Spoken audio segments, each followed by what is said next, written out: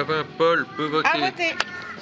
Allez, Jusque-là, vous avez. Jusque-là, vous avez. à voter, bravo. Hop, là, vieux maintenant. guud ahaan dalka faransiiska codbixiyaasha ayaa u dareeraya goobaha codbixinta si ay u doortaan xubnaha cusub ee baarlamaanka dalkaas iyadoo dalkaasi uu ka jiro marxalad siyaasadeed oo uu abuuray doorashooyinkii baarlamaanka yurub in ka badan afartan iyo sagaal milyan oo codbixiyaal ah ayaa helay fursad ay ku dhiibtaan codkooda si ay u doortaan shan boqol toddobaatan iyo toddoba xubnood oo ka tirsan golaha shacbiga aqalka hoose ee baarlamaanka ee shanta sano ee soo socota. Doorashadan ayaa timid kadib markii madaxweyne emmanuel macron uu kala diray baarlamaanka kuna baaqay doorasho deg deg ah.